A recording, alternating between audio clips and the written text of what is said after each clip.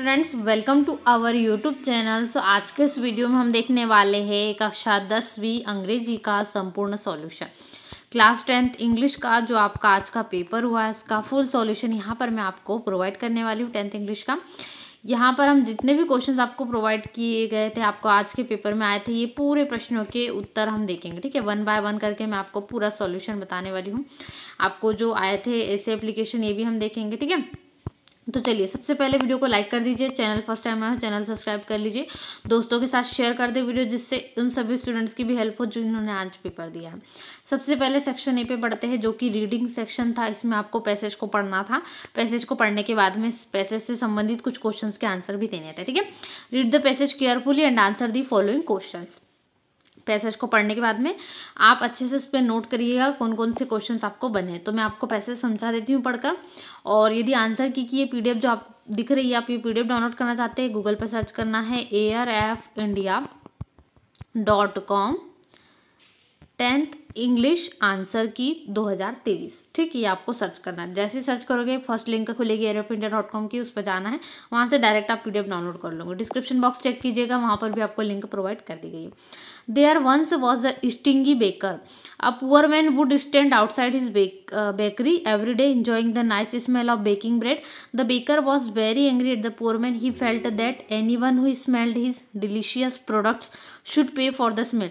So he took the poor man to the court the जज hear the baker's complaint patiently then he asks the poor man do you have any money देखिए, इतना passage का मैं आपको meaning समझा देती हूँ। एक बार की बात है, यहाँ पर क्या होता है, एक बेकर रहता है मतलब जो ब्रेड वगैरह बनाता है, उनको कहते हैं बेकर केक वगैरह का। और एक पुअर मैन रहता है जो बाहर से ही बेक जो ब्रेड बेक होती है मतलब उसको बेक को जब जब ब्रेड को बनाया जाता है तो वो स्मेल जो आती है बहुत अच्छी लगती थी। एक पुअर मैन एक गरीब व्यक्ति रहता है, वो उसकी सुगंध को सुनता क्योंकि उसके पास इतने पैसे नहीं होते कि वो खरीद कर खा सके तो उसकी स्मेल से ही सुन के संतुष्ट हो जाता है। तो बाहर रहकर ऐसा सूंघा करता था उसकी सेंट तो इससे क्या हुआ था, जो व्यक्ति था, जिसके बेकर जो दुकान था, उसको लग रहा था कि इसके, उसे पैसे पे करना चाहिए, इसके कारण वो उसे कोर्ट लेकर जाता है कि उसने बिना पैसों के कैसे स्मेल जो है, ले ली। ठीक है बेकर की। So the poor man sir the his packet and product produce the two small coins उसके पास दो सिक्के निकलते this is all the money I है ही सेट टू द जज अब वो कोर्ट में जाते तो वहाँ पर जज को बताता है। और जज क्या करते हैं? जज वो दो कॉइन्स लेते हैं पुअर मैन से और um, द बेकर स्माइल, तब बेकर हंसने लगता है and agree held out his hand. ठीक है बट द जज did not give the baker the money वो मनी जज जो है, वो बेकर को नहीं देते he only jingle the coins together ठीक है, वो आवाज़ करते हैं, दोनों सिक्कों को खनकाते हैं, ठीक है, आपस में, और पुअर मैन को वापस कर देते हैं saying punishment should fit the crime the price for the smell of bread shall be the sound of money मतलब यहाँ पर क्या है ब्रेड की खुशबू के बदले में आपको किसकी आवाज़ दी गई है? आपको सिक्कों की आवाज़, यानी पैसों की आवाज़ सुनाई दी गई, ठीक है? तो ये था मतलब टीट और टेट वाली कहानी हो गई, ठीक है? How many coins were found in poor man's pocket कितने कॉइन निकलते? दो। Give a suitable title for the above passage इस पैसेज के लिए suitable title tit for tat ठीक है? जैसे को तैसा हम एक बोल सकते हैं, ठीक है? यहाँ पर आपको वो लिखना है। Which word is the opposite of the word rich यानी क्या होता है? अमीर। सो रिच का अपोजिट यहाँ पर रिच यानी अमीर और गरीब यानी पुअर तो पुअर सही है ऑनेस्ट एंड तो ईमानदार हो जाएगा, ठीक है? इसके बाद क्या है? The poor man stood outside the bakery poor man बाहर खड़ा रहता था किसके लिए? ताकि वो क्या ले सके स्मेल ले सके एंजॉय कर सके, जो ब्रेड बेकिंग होती है तब की सुगंध, ठीक है? तो यहाँ पर राइट आंसर आपका option number C the baker took the poor man to जो बेकर है वो कहाँ लेकर गया? पुअर मैन को कोर्ट लेकर गया, ठीक है? ताकि वो फैसला कर सके अब उसके बाद में अगला प्रश्न है, जो नेक्स्ट क्वेश्चन है, यहाँ पर आपको फिर से पैसेज दिया गया। पहले क्वेश्चन में आपको पैसेज उसको रीड करना था, उससे संबंधित कुछ क्वेश्चन थे, अब अगले पैसेज में भी वही क्वेश्चन है। पैसेज लगभग पाँच पाँच क्वेश्चन आपको पूछे हैं तो आप पैसेज पढ़ते हैं, एक बी यानी यहाँ पर एक मधुमक्खी के बारे में है। एक स्टोरी दी गई, कैसे उनकी हेल्प होती है और वो बचते हुए जाते हैं। आई थिंक ये पैसेज आपको अभ्यास प्रश्न पत्र में भी था तो आपने उसकी भी प्रैक्टिस की होगी पहले से तो आपको ये क्वेश्चन बन गए होंगे। हु सेव्ड द बी थोड़ा सा चेंजेस कर दिया गया था पैसेज में। तो यहाँ पर बी को कौन बचाता है? तो डव ठीक है? आंसर होगा option number D dove what did the bee feel when it was saved by the dove ठीक है? तो बी कैसा फील कर रही थी जब वो डव ने उसको सेव किया उसके बाद में? तो ग्रेटिट्यूड यानी किसी का उपकार मानना। ठीक है? इसको हम कहते हैं। इसके बाद है who danced with the pen dance कौन कर रहा था? पेन के साथ में, दर्द के साथ में, था the boy the meaning of the word tumbling है I think yes tumbling is tumbling का फॉलिंग होता है। क्या होता है? Falling the bee went to the tank to quench its thirst ठीक है? तो थर्स्ट यानी शायद आई थिंक वो प्यास मिटाना चाहती थी, इसलिए हो गई। ठीक है? इसके बाद में है सेक्शन नंबर सेकंड ठीक है? इसका आंसर देखते हैं। क्वेश्चन नंबर थ्री क्या है? You are Manas Mansi studying in government higher secondary school Balaghat write an application to your principal for issuing school leaving certificate चलिए, इसका आंसर देखते हैं। तो ये आपका स्कूल लिविंग सर्टिफिकेट के लिए जो आपको बोला गया था लिखने एस एल जिसको हम कह रहे हैं to the principal government higher secondary school यहाँ पर आपने लिखा होगा बालाघाट। ठीक है क्वेश्चन में क्या है? बालाघाट एम पी ठीक है, ये आपने लिखा होगा। उसके बाद में है subject application for character certificate आपने लिखा होगा school leaving certificate S L C भी एक ही बात है। रिस्पेक्टेड सर यहाँ पर ठीक है यहाँ पर अपने रिस्पेक्टेड सर लिखा होगा I beg to state that I am students of class tenth A of your school ठीक है यहाँ पर यूअर है।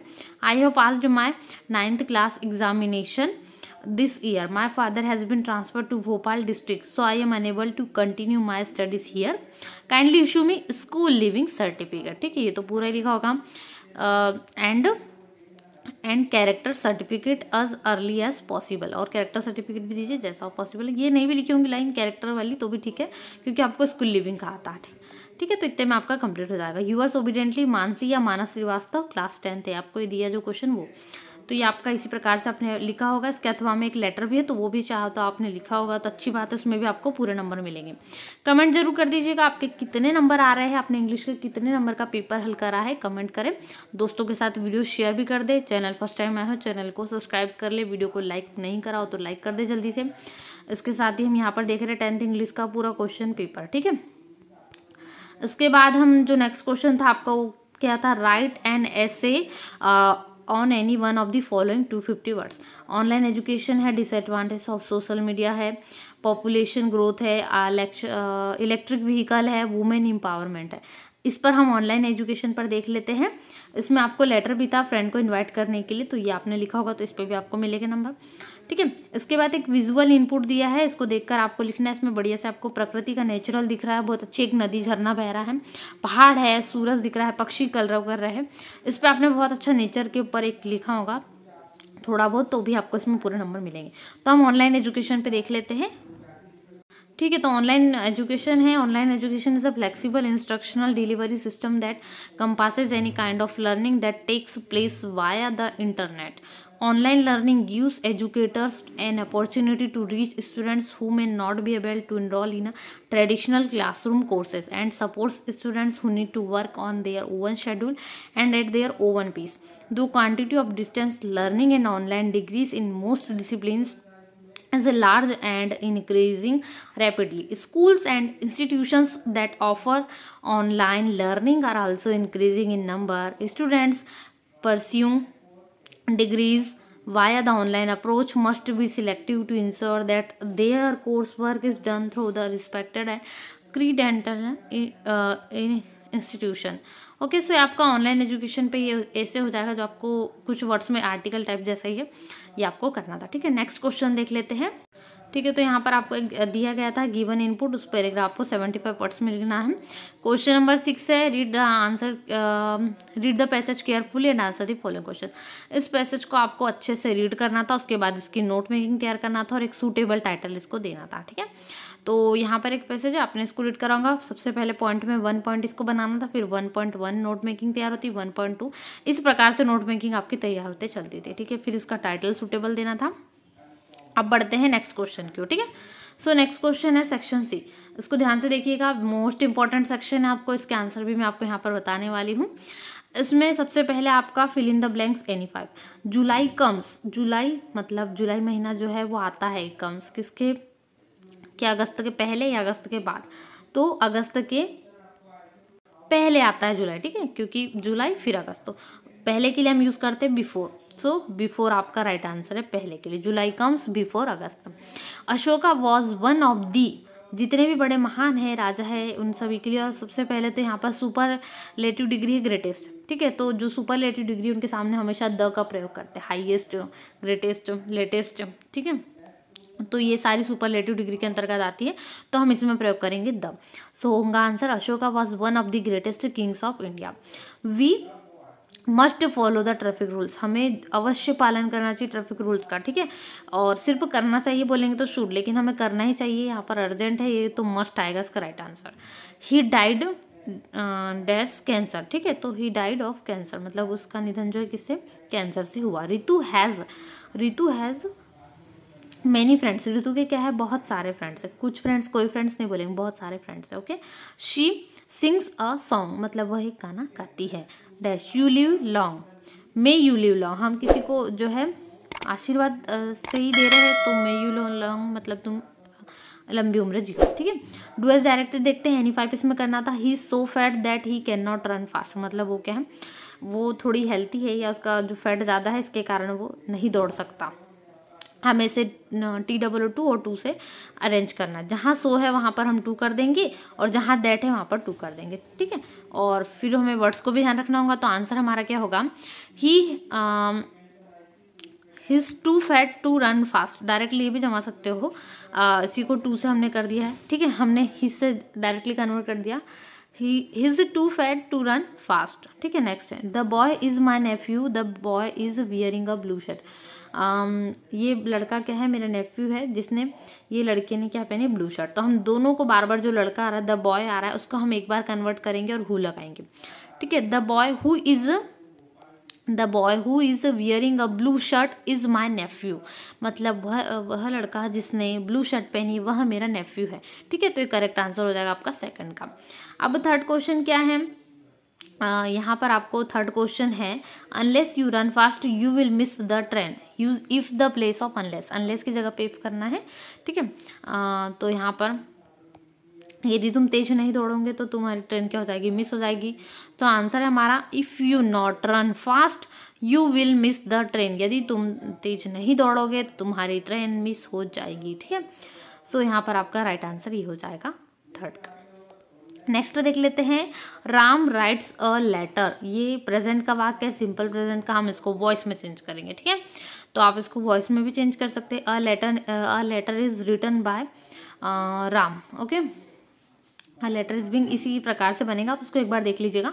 Swimming is a good habit इसको हमें क्या करना है? Beginning rewrite the sentence beginning with it it से बिगनिंग हमें इसको इट से करना है, ठीक है? एंड uh, यहाँ पर लिया letter is return by Ram यहाँ पर आपका आंसर ठीक है? Mamta goes to school every day और एक फोर्थ क्वेश्चन जो हमारा छूट रहा है वो है पुलिस अरेस्टेड द थीप इसको हमें नेगेटिव सेंटेंस बनाना है। तो नेगेटिव सेंटेंस बनेगा police didn't arrest the thief ठीक है? ये आपका आंसर हो जाएगा। पुलिस डिड नॉट ठीक है? डिडंट भी बोलते हैं इसको did not arrest the thief ये आपका नेगेटिव बन जाएगा। तो ये इतने सारे हो गए मैंने आपको बता दी है। यहाँ पर आपको लिखना है Mamta goes to school every day does Mamta go go, does Mamta go to school every day ठीक है, ये आपका बन जाएगा इंट्रोगेटिव दस से स्टार्ट करिएगा और अंत में क्वेश्चन मार्क ज़रूर लगाइएगा.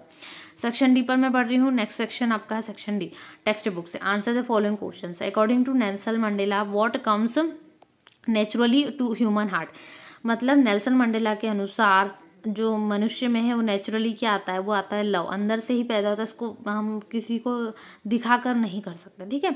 What was the name of Anne's diary Anne's diary का नेम क्या था? किटी ठीक है? क्या था? Kitty Coorg is famous for Coorg जो है कॉफ़ी के लिए फ़ेमस है. आंसर बी जो है right answer what was name what name was given to otter Mijbil the otter ये नाम देते हैं तो मिजबी मिजबिल ठीक है? ये आपका राइट आंसर है। इसके बाद में इसके आगे के आंसर्स को देख लेते हैं, ठीक है? ये आपके आंसर होगा इसके बाद में क्वेश्चन नंबर टेन हमने क्वेश्चन नंबर नाइन तक कंप्लीट कर ली। चैनल सब्सक्राइब कर लीजिए। फ़र्स्ट टाइम आए जितने भी स्टूडेंट्स और दोस्तों, में जल्दी से शेयर कर दे जिस वीडियो को, ताकि सभी स्टूडेंट्स इसकी हेल्प ले सकें। Read the extract carefully and answer the question given below it the moon was coming in the east behind me and stars were shining in the clear sky above me ठीक है? तो ये जो black aeroplane उसके बारे में है कि उस दिन अच्छा आसमान क्लियर था क्लियर स्काई था। ठीक है? और कहाँ पर जाना था? उनको इंग्लैंड वापस जाना था बैक टू इंग्लैंड फ्रांस से, और वो बहुत खुश था कि वो हॉलीडे पर जाएगा। और वन थर्टी हो रहा था मॉर्निंग में, ठीक है? One thirty in the morning चलिए स्टार्ट करेंगे। पहला क्वेश्चन है how was the weather when pilot started flying aeroplane मौसम कैसा था जब पायलट ने स्टार्ट किया फ्लाइंग तब क्लियर था there was a clear sky pilot was going to pilot कहाँ पर जा रहा था? इंग्लैंड जा रहा था, फ्रांस से England. Okay, the above passage is taken from which lesson किस लेसन से लिया गया? तो ये लिया गया ब्लैक एरोप्लेन से, ठीक है? राइट आंसर है। क्वेश्चन नंबर बी है, द फॉक पोयम से आपका लिया गया है। The fog comes on little cat feet, ठीक है? फॉक कैसे आता है? लिटिल कैट फिट के according it was it sits looking over harbour and city on silent haunches and then moves on so पहला क्वेश्चन क्या है? What has been personified in above given lines किसकी जो तुलना की गई है, कि किस प्रकार से आता है? फॉग है वो, ठीक है? फॉग की तुलना की गई है परसोनिफाइड इसको बताया गया है। After sitting fog moves on ठीक है? Right answer option number B moves on third question है the point of the above poem is ये जो पोयम है इसके पोइट कौन है? तो इस पोएम के पोइट है कार्ल सैंडबर्ग कौन है Carl Sandburg right answer option number D ठीक है तो ये आपका हो जाएगा क्वेश्चन नंबर टेन का ए और बी के राइट आंसर्स उसके बाद क्वेश्चन नंबर इलेवन था आपको। In the reference of fire and ice how will the world end what are the things that Amanda's mother ask her to do and not to do how will the temperature of the trees affect the house ठीक है, कुछ इसी प्रकार के questions आपको बने थे तो आपने करे हो गए वीडियो को लाइक करें फटाफट से। शेयर भी करें चैनल पे। फ़र्स्ट टाइम आए हो तो दोस्तों में वीडियो ज़्यादा से ज़्यादा शेयर कर दे जिससे ऑल स्टूडेंट्स की हेल्प हो। इसी प्रकार के वीडियो आपको चैनल पर मिलते रहेंगे। कक्षा दसवीं से संबंधित सभी प्रकार की वीडियो के लिए चैनल सब्सक्राइब कर ले। और लाइक नहीं करा तो लाइक कर ले। आपको ये पेपर आया था, इसका मैंने आपको कंप्लीट सॉल्यूशन प्रोवाइड कर दिया। ये आंसर की की पीडीएफ आपको गूगल पे मिल जाएगी।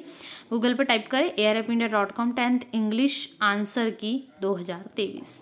सो so, चलिए मिलते हैं नए वीडियो में। डिस्क्रिप्शन बॉक्स चेक कीजिए वहाँ पर लिंक है पीडीएफ की।